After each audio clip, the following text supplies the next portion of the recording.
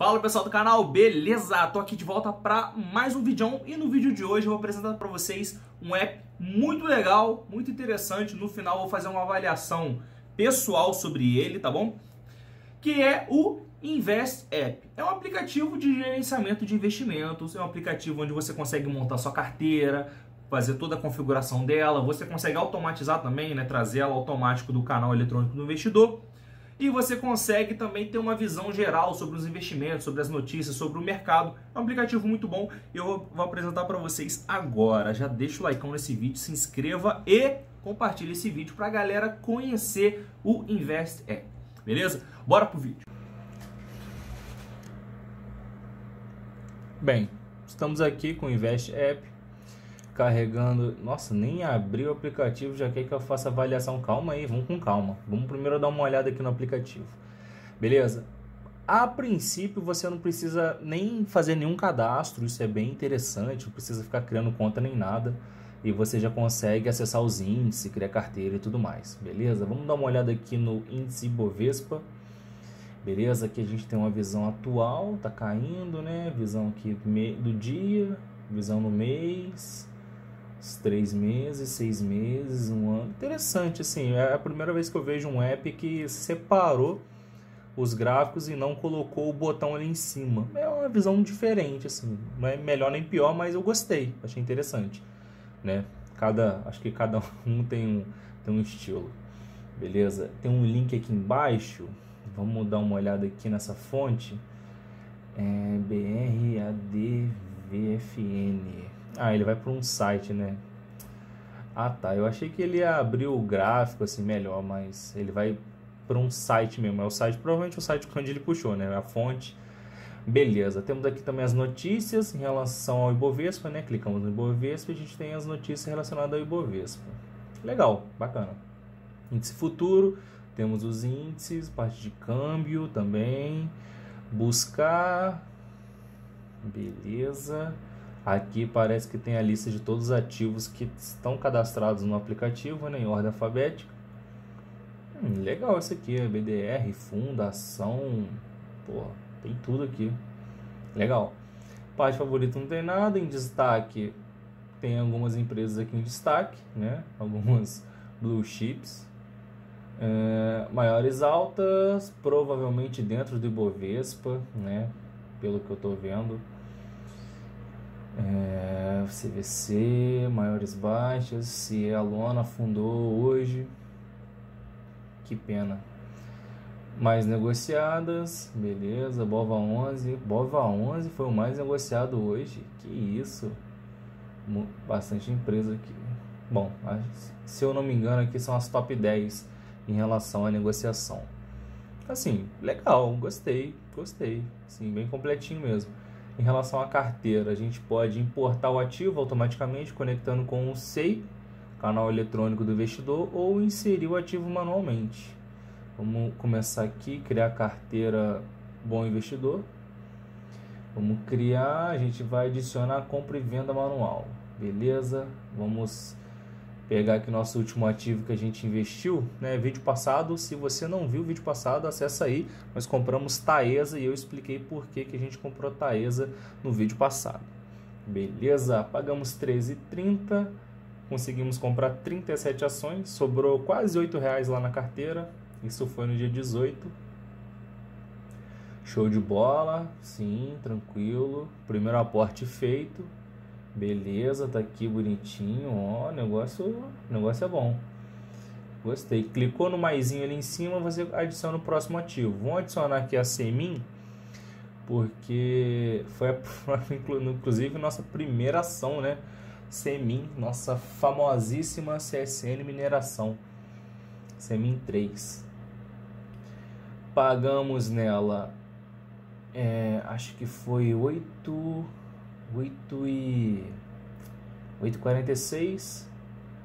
Compramos 59 ações, foi quase 500 reais, né? Porque o nosso aporte mensal é de 500 reais. A gente quase comprou tudo ali. Aí sobrou uns centavinhos, show de bola. Vamos ver como é que fica a visão. Ó, beleza, valor investido 991, valor atual 1000, Temos aqui um gráfico, aqui a porcentagem na carteira, interessante. Temos as duas ações ali, né, a atual posição dela, uma valorização ali, legal, variação no dia, muito bom. Semin até hoje deu quase 11% e a Taesa até hoje deu menos 2%. Taesa tá nova, né? Aqui na parte dos ativos a gente consegue ver a parte de Semin. Pô, tem bastante coisa aqui, legal. Variação no dia, rentabilidade total, valor investido, proventos, caramba, listinha, listinha nervosa, Semin e Taesa. Pô, legal. Dá para comprar direto por aqui, legal, clicando ali no maisinho, Semin, alterar quantidade, histórico, cotações. Vamos ver como que como que seria essa parte aqui de cotações. Vamos ver como é que ele fica. Beleza. É de é padrão, né? Igual a gente viu ali do Bovespa, só que nesse caso aqui ele gera o próprio gráfico, né? Ele não não está buscando de uma outra fonte. Legal. Vamos dar uma olhada aqui em Taesa também. Vamos ver aqui é, os fundamentos. Vamos ver o que, que eles apresentam aqui de fundamentos para gente. Beleza? Papel, Taesa, tipo é ON, né? Ação ordinária. Taesa, o mínimo, nossa, ela bateu 8,13, o mínimo nos últimos 12, nas últimas 52 semanas, legal. Nossa, pagamos então até até bem caro nela, né? Pagamos 13,30, né? A máxima dela foi 13,57. Pagamos bem próximo da máxima, né? valor médio dela, último balanço foi no dia 31 do 3. De 3 em 3 meses ele solta um balanço, né? O valor da firma 18 bilhões, empresa carinha. Temos aqui ó, um PL, né, que é o famoso preço sobre o lucro de 5,58, que é um PL relativamente bom. Um LPA, um, o lucro por ação de 2,38, não, que seja, não que seja tão bom assim, mas é, é até um valor interessante, visto do, da maioria das empresas que a gente está vendo hoje em dia na bolsa, com com um valor bem baixo. O ROI dela também muito bom, a margem EBITDA dela também é excelente. Receita líquida dela também representando bastante. Não temos notícias? Não temos notícias, sério. Seminzona, vamos ver aqui como é que como é que a como que a Semin aparece. Ah lá, Semin tem notícia. Ah, molecote. Bacana isso aqui, ó. XP reitera a compra de Semin, legal. Taesa, Taesa tá dando uma quedinha boa, né?